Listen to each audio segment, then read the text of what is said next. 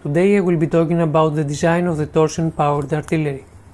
The power is generated by twisted bundles of ropes which act like springs. The material of preference is sinew rope. The ancient text emphasizes that pig tendons are not suitable. Tendons from big animals are the best. Horsehair was also used. It would be more economical but less powerful. They definitely didn't use vegetable fibers because they don't stretch. In modern times, the best option is nylon, which has elasticity similar to tendons. The first engine would be a wooden frame with rope wrapped around to create the spring. The rope could be stretched while wrapping, but the springs would not be able to be twisted on the frame. This means balancing the spring or increasing the power by twisting the springs would be impossible after construction. And so they made frames that had holes with iron bars on top. The ropes would go through the holes and around the iron levers. The rope was passed through the holes and stretched with a special tool called stretcher. It was put on the frame and operated like a winch, and by the use of clamps and wedges, the tension was kept until the next loop was inserted. After construction, the levers can be used to twist the rope bundles.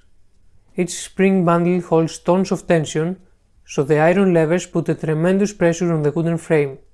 With use, the irons would dig into the frame around the holes. Also, there was no guide to keep the bundle centered in the hole, which would make twisting the spring more and more difficult. The next upgrade was using washers with a rim to keep the bundle centered and to prevent the levers from digging into the frame. The washers could have been made of wood, but metal was much more suitable. At the same time, they started simplifying the frame construction. It would now consist of separate smaller parts that would be held together by a surrounding framework. This is useful for bigger engines as it is difficult to source big pieces of wood in the dimensions needed for a solid frame. The next innovation was made possible after having independent spring frames held together by a framework.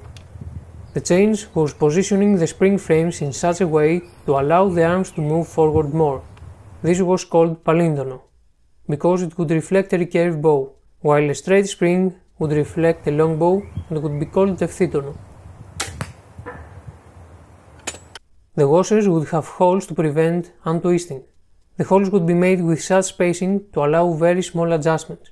I use washers from steel and although I have made holes, I never needed to put pins. The friction was enough to prevent untwisting. Curved arms will increase the draw length and change the leverage, which will increase power.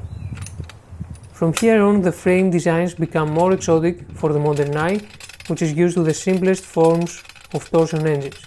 Philon suggests different experimental designs. The first is the wedge engine. The frame is similar to the Mark I, but the tension of the springs is adjusted by inserting and hammering wooden wedges between the frame and the iron levers on which the cords rest. The frame is reverted back to the much simpler construction of the Mark I, and the rope is wrapped around the frame without the tedious work of passing great lengths of rope through holes, or using the stretcher which can also damage the rope. The vertical tension of the spring bundles can be increased even after the construction. This is unlike any other previous design. In previous designs, when the ropes loosen with use, the only solution is to twist the bundles which after a point reduces performance while vertical tensioning doesn't.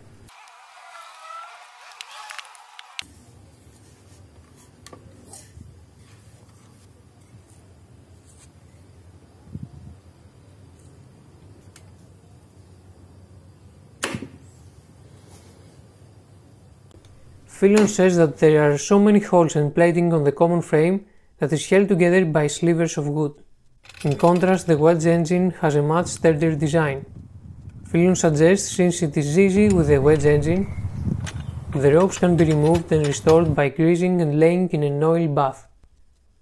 He says, oil nourishes the sinew when it is loosened. When stretched, the cord does not need lubricant anymore, but squeezes out most of the oil absorbed. This is a very interesting note that implies that the ropes on the common engine designs were passed through and tensioned while wet or oil. The sinews would shorten when dried, which would increase tension and power. Although there is no evidence of it, the wedge concept can be integrated in a common machine with twisting washers and levers. The idea was applied by Nick Vatch, but I don't know the results. In my small machine I have inserted spacers instead of wedges, while the ropes were loosened after use. The next design mentioned by Philon is powered by bronze leaf springs. This concept fascinated Philon and it would be more resilient than sinew ropes in certain conditions, but although the design appears simple, it would be more difficult to make and it would have lower performance. Next, Philon talks about the repeating engine. This doesn't upgrade the frame but only the stock. I would agree with Philon that although a genius and complex design, because of decreased power and range, it is not very useful.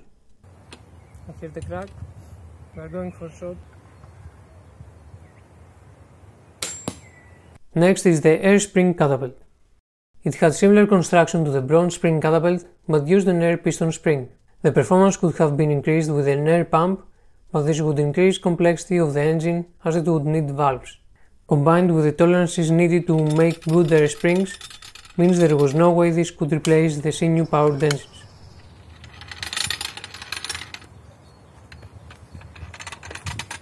The most radical innovation was the in-swinger. This concept is first suggested by the discovery of the Hatra ballista frame. This design allows for the use of the same springs for much bigger draw lengths and the geometry creates better leverage that results in higher performance than in-swinger engines. Mm -hmm. Okay. It's broken. it's broken. You have see this. It's broken. So the backing worked. The ring kept it together, but it was too thin and it broke here. At this point, the wooden frames would be full of nails and plates. The next design abandons the use of wood in the frame and the full metal frames were developed. Metal framed ballistas would be in-swingers. The design of an in-swinger can be seen on Trajan's column. As with the wooden Palindonon design, the spring carriers which are now made of metal would be independent parts, and so all springs could be replaced easily. Engines made by Nick Vatch have achieved ranges over 900 yards, energies of 2.4 kJ, and accuracy of 20 minutes of angle at 800 yards. Some time later it seems that another in-swinger design was created. The design resembles a wooden square frame and it is called Springald.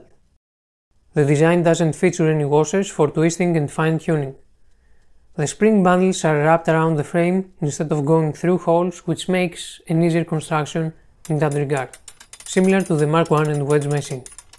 But in this case, the springs could have been pre-twisted to increase power since there is enough space to twist the arm multiple times before stringing. The design is versatile in construction, but is more difficult to move and tame. It could include the wedge system for tensioning and tuning the springs. The springy springald. The frame of the springald could be made springy. If the beams are bending while the rope is stretching, we can get the same power out of a shorter rope spring and save material. Or it could take some load of the rope springs and extend their service life or increase the performance of less suitable ropes like those made of hair. The use of a springy frame is suggested by drawings from Da Vinci. Tod from Tod's workshop has made an interesting observation on the springy frame concept. A torsion engine made for the Scrap Heap Challenge ballista was tensioned by hydraulic jacks and lost power after removing the air from the hydraulics. The air in the jacks would make them perform like vertical springs. This suggests that the springy frame can make use of ropes that are less elastic or increase the power overall. Engineers would look for ways to maximize the torque of each string of the bundle. The concept could be simplified. There is also a paper on the matter suggesting the use of support inside the spring with ropes operating in the perimeter to increase torque. Here's a small model made of bamboo sticks for demonstration we can reduce the spring material and increase the spacing between each half of the spring to increase torque. Taken to the extremes we end up with a double spring. Two smaller rope bundles spaced out to create a bigger moment arm can produce the same torque as a thicker bundle. The concept hasn't been explored as extensively as the previous ones.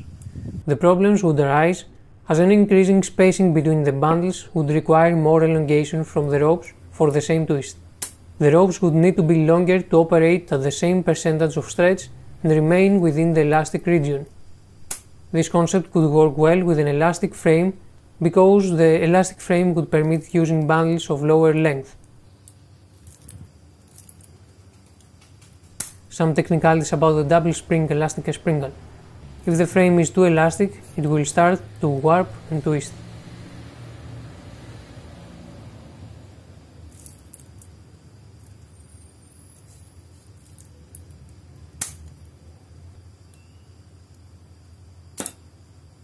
There need to be spacers on the double springs so they don't collapse.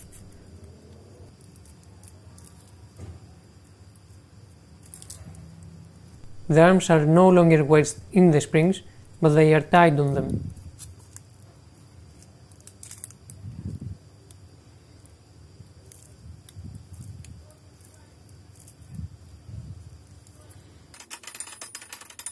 The most difficult part to design seems to be the arms. The ancients suggested they have to be as weak as possible for the job, so there is no energy loss in their movement. From my experience, the arms need to have a thicker base than suggested. A half spring diameter is suggested, but in my experience, one spring diameter is more suitable. Wedging the arm in the bundle will put some extra tension on the bundle, and thicker bases are less prone to breaking. Shorter arms will perform worse because of the reduced draw length. Longer arms are better if they are tapered correctly, but they are limited by their weakness to hold the string. If they get long enough to start bending, they are losing draw length and leverage.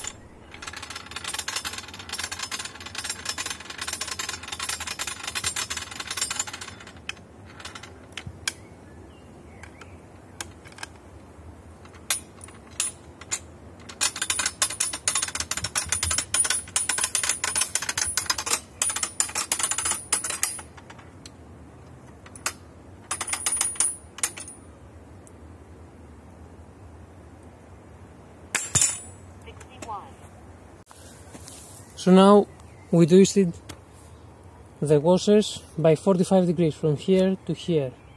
What happened is the arms, you can see how stiff they are. They don't really move. The arms moved in.